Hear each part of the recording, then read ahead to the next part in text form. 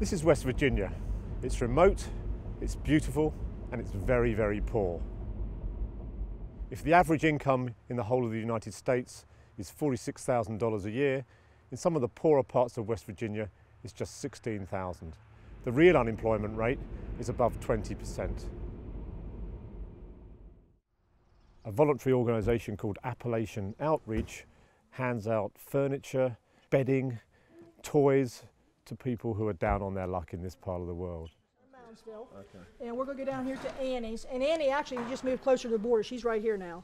She's right over in here. I think in this country, money talks. And I think the voice of the powerful, that's the one making the noise, that's the one being heard, that's the one with the uh, means to be a voice and be a loud voice. Whereas the poor just go about there every day trying to survive and they don't have a voice. Our reach right now is 28 counties with 57 areas, which is a, a good half of West Virginia.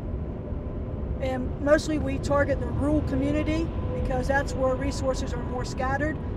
So what we try to do is provide those missing links that are critical to people in need.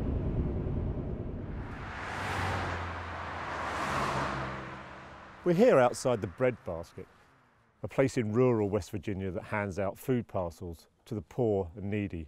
We're here to talk to the organiser about the sort of work she does, the sort of people she meets, and how bad the problem really is.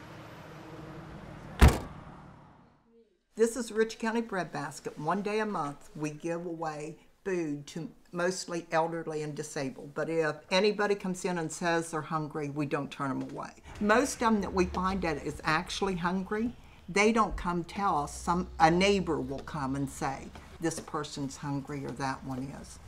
I remember a bank. I changed banks because I went in and they had sent somebody else $138 my, of mine. Actually, they took it off of their uh, this other person's loan, and I said something, and the guy said, "Well, it's only $138. That's not much." And I said, "That's more than my loan payment is." And he said, "We don't need you small people."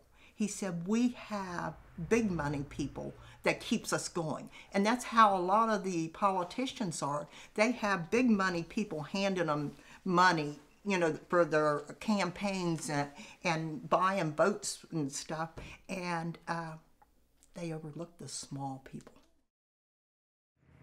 The Occupy Wall Street protests of 2011 were all about the people who come here for their food parcels, the hidden 99%, the poor, uh, the people who are suffering from America's grotesque levels of inequality. But the people who run these places are very dismissive of the politicians. Asked whether the politicians get it, they say no. Asked whether this is really going to be an election issue, they say no. For them, these are the forgotten people, the people the politicians would prefer not to think about.